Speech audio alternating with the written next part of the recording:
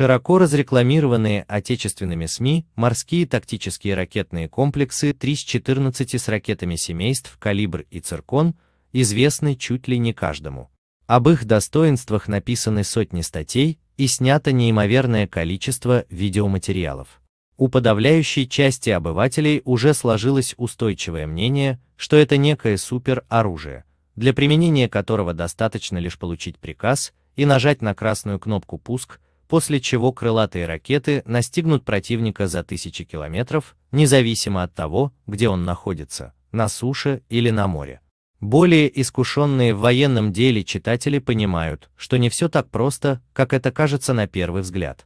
Ракетам предварительно нужно выдать точное целеуказание для успешной атаки. А вот с этим как раз есть сложности.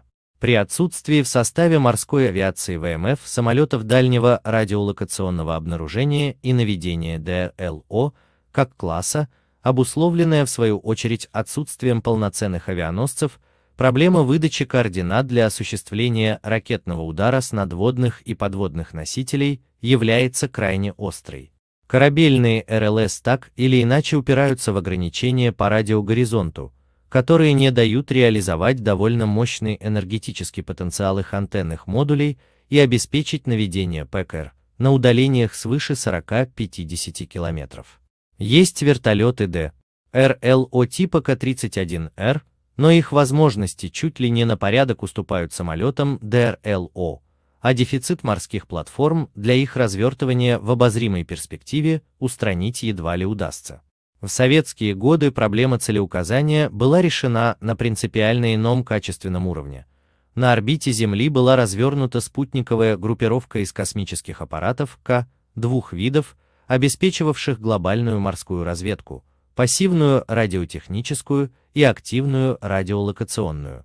Система морской космической разведки и целеуказания МКРЦ, прозванная легендой, за время своей службы показала достаточно высокую эффективность и какое-то время обеспечивала главный штаб ГШС, ВМФ собственной критически важной разведывательной информацией, позволяя максимально использовать преимущества отечественных сверхзвуковых ПКР и создавая перманентную угрозу АУГ США в любой точке Мирового океана.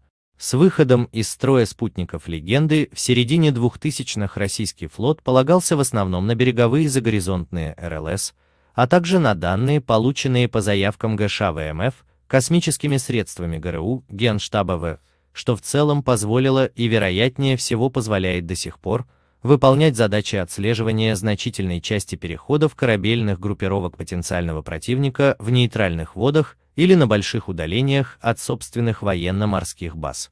Тем не менее, очевидно, что это полумеры, которые попутно приводят к общему снижению эффективности военной разведки и нецелевому расходованию ресурса ее КА.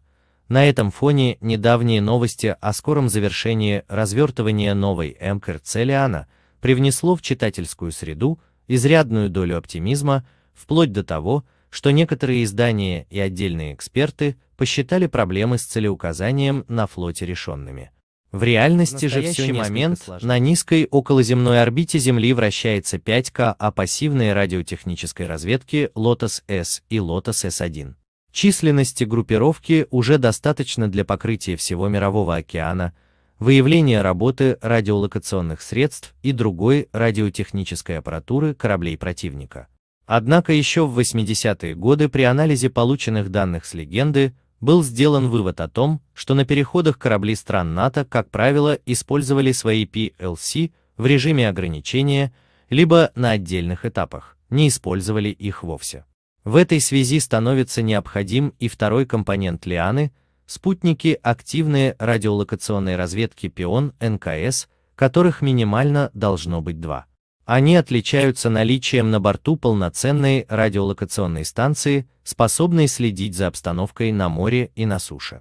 Активный принцип обнаружения позволяет засекать цели, соблюдающие режим радиомолчания, и обеспечивает высокую точность определения координат, что критически важно при использовании новейших гиперзвуковых ПКР типа циркон. Но даже при условии формирования полноценной спутниковой группировки – Нужно объективно оценивать риски для ее боевой устойчивости, в случае военного конфликта с технологически развитым противником. Из открытых данных известно, что КАМКРЦ располагаются на круговых орбитах с внушительной высотой 800-900 км, что по всей видимости рассматривалось разработчиками системы. Начало работ было положено еще в 1993 году как способ уберечь спутники от противоспутникового оружия, ПСО. Однако ведущие державы мира, такие как США и Китай, за последние десятилетия достигли крайне серьезных успехов в разработке ПСО. Еще в 2007 году Китай провел успешное испытание собственного противоспутникового оружия, метеоспутник Фи-1С серии Фэнджиан, находящийся на полярной орбите высотой 865 километров, был поражен прямым попаданием противоспутниковой ракеты. Об испытаниях ПСА США на подобных высотах ничего доподлинно не известно, но учитывая высоту поражения той же противоракеты СМ-3 блок ИИ в 1500 километрах, поражение ею любого КАМКРЦ можно оценивать с вероятностью близкой к единице. Помимо противоспутниковых ракет, угроза исходит и от КА-инспекторов чужих спутников, способных при необходимости выводить их из строя. Примером такого аппарата можно всецело считать одну из главных надежд американского военного космоса – космоплан С-37 Боинг.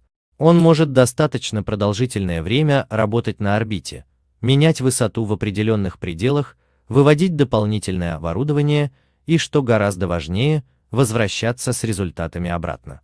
Космоплан оснащен грузовым отсеком и манипулятором, что теоретически наделяет его возможностью не только нарушать работоспособность чужих спутников, но и похищать их с орбиты и возвращать на Землю. Справедливости ради надо заметить, что в силу отсутствия на современных спутниках конструктивной защиты и возможностей самообороны, их уязвимость перед существующими перспективными средствами поражения – является не только проблемой МКРЦ, а всех без исключения КА на земной орбите.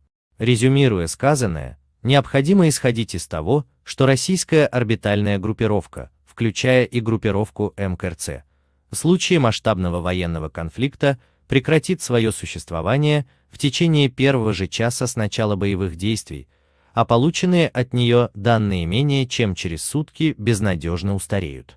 Для восстановления работоспособности морской космической разведки потребуются запуски резервных К, которые должны быть предусмотрены соответствующими планами Генштаба ВС и, самое главное, изготовлены и полностью готовы к запуску при первой необходимости. Фактически, в резерве должна находиться еще одна полновесная группировка в количестве минимум четырех аппаратов, двух Lotus S1 и двух Pion НКС. В противном случае флот сможет рассчитывать только на ограниченные возможности корабельных и авиационных РЛС со всеми вытекающими отсюда последствиями.